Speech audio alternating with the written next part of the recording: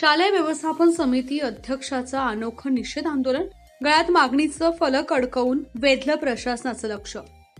दिंडोरी तालुक्यातील जानोर येथील जिल्हा परिषद प्राथमिक शाळेतील शिक्षकांना आपल्यावरील कार्यवाही टाळण्यासाठी चक्क शालेय व्यवस्थापन समितीच्या अध्यक्षाची बनावट सहीचे निकाल काढण्याबाबतचं पत्र शिक्षण विभागाला देऊन प्रशासकीय कार्यवाही दिशाभूल करण्याचा गंभीर प्रकार केलाय. शिक्षण विभागाने या पत्राची दखल घेत बनावट पत्राच्या आधारे चौकशी थांबवल्यानं एक अजब प्रकार दिंडोरी शिक्षण विभागाचा दिसून आलाय. शासकीय कार्यालयाला बनावट माहिती पुरवल्याबद्दल संबंधित इस्मावर शिक्षण विभागामार्फत फसवणुकीच्या गुन्ह्याअंतर्गत फौजदारी दाखल करण्याची मागणी शालेय व्यवस्थापन समिती अध्यक्ष सोमनाथ वतार यांनी केली होती.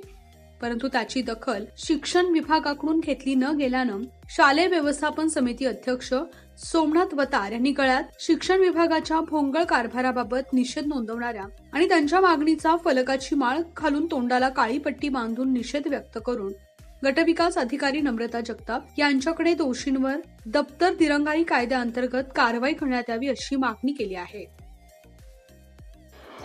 मी शालेय व्यवस्थापन समिती अध्यक्ष सोमनाथ रामलाल वतार जिल्हा परिषद शाळा जानोरी इ- येथील मुख्याध्यापक व शिक्षक यांनी पंचायत समिती येथे बनावट ठराव देऊन त्या ठरावावर माझी सही घेऊ बनावट करून ती पंचायत समिती विभागाला दिली.